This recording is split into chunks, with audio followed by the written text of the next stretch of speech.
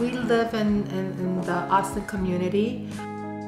There seems to be a lot of like families around this area.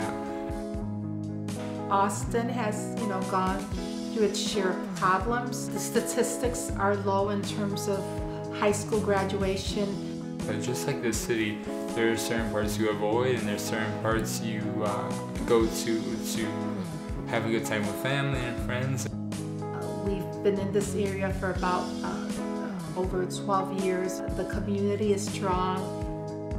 When you know we first came to the school, uh, Charlie didn't know anyone. There were a lot of growing pains. I had never been held accountable to such standards ever before in my life. Uh, they talked to us about how their uh, the ultimate goal at the end of the day is to be able to graduate from the four-year university of our choice.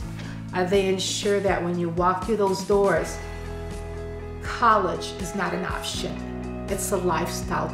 It's a continual. This is what you're going to do after high school because it was so important to get those conversations started early. So once once I got to senior year, in fact, once I got to sophomore year, it wasn't something new.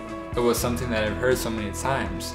So by the time junior year came around, a time where most most teenagers started thinking about college. I already had so many conversations, had so many like different colleges picked out, knew about what requirements were expected of me to get into those colleges. I felt really well, well prepared.